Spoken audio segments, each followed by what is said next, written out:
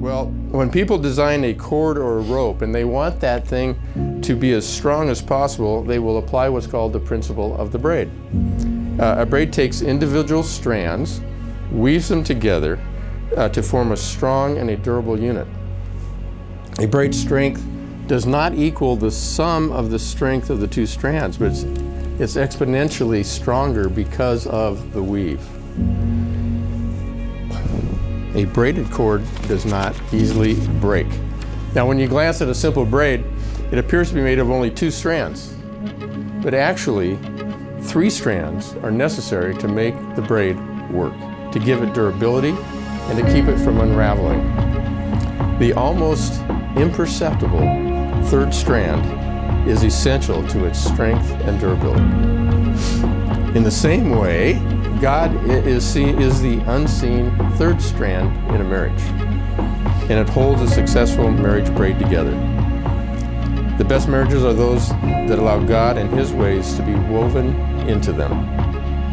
Remember that the one specific call of the husband is to love his wife as Christ loved the church. And what did Christ do for the church? He died for the church. He gave himself up for her. That's the kind of love you're to have for her it's the type of love that prompted Christ to come to earth as a man and lay down his life for us. The purpose of your love for Rochelle is that God might use you as one of the instruments to make her all that God wants her to be. This love values her, holds her in high esteem, it serves her, it provides for her, it makes her warm and tender so that she can reflect God's glory and God's image. This sacrificial love is an exercise of your choice, not your emotions. And Rochelle, you're to have the same attitude towards Martine as you have toward Jesus Christ. A constant desire to recognize and respond to his love that he's called to give to you, to support and encourage him as a spiritual leader of your family. Offer him the beauty of your inner personality, the unfading loveliness of a calm and gentle spirit that I have seen in you in the short time we've had together. A man's, now, a man's deepest need in marriage is to be respected by the woman that he loves. Encourage him in what he does. Support him with your presence, with companionship. Recognize his weaknesses and imperfections, and realize that all these are included in the man that God has given to you. And help him grow to be the man that God wants him to be. This is God's design for your marriage. And this divine design can be pulled off and accomplished with His power.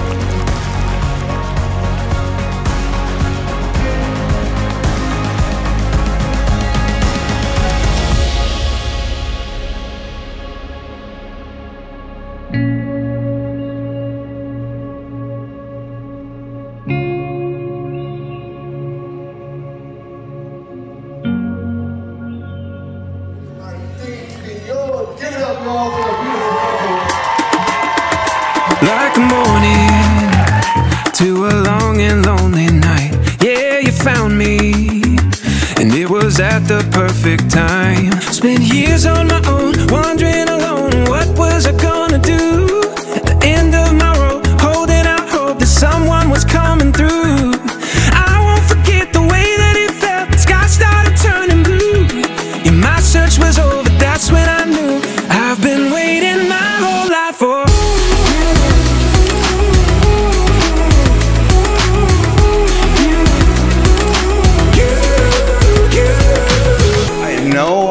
my life would be so much different if this couple, from that started when I was barely able to even remember them, to now, still being able to be together, be modestly happy, and being just such a great, great couple to look up to.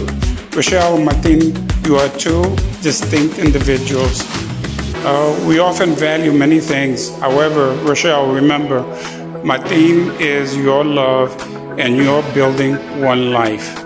Watching your love grow over the years has been nothing short of inspiring. Um, I've seen how deeply you've loved each other and how you've overcome life together. You were there for me, bro, when I needed you most. And you know that. And I just wanted to thank you for making me a part of your very special night, bro. Y este, también te quiero a Thank you. And I couldn't be more happy it is you, my daughter, has decided to spend the rest of her life with. Martine, when you helped me fix up my front porch and you built my deck, I knew that something was up. And it was.